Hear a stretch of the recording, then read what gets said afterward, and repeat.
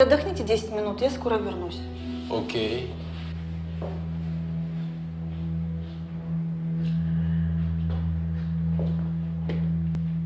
Шварц Сергей Владимирович. Да, я вас слушаю. Только не дергайся, а то криво выйдет. Юдин был у тебя вчера? Да. Часиков с 8 вечера до 4 утра забирали мой салон. А теперь как на духу. Вы с Юдиным периодически замеряли салоны. Владлен приревновал к этим салонным делам.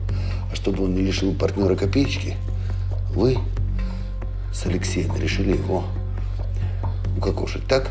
Так? Да вы что, Алекс вообще не... Не что? Да никакие они не гей, ни, ни Алекс, ни Владлен. Я, кстати говоря, тоже не гей. А маска зачем? Ну, Так для улучшения кожи я метросексуал. Это что, в метро любишь, что ли?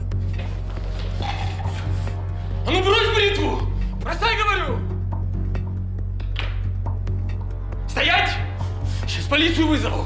Да кто ж после такого заявления стоять-то будет?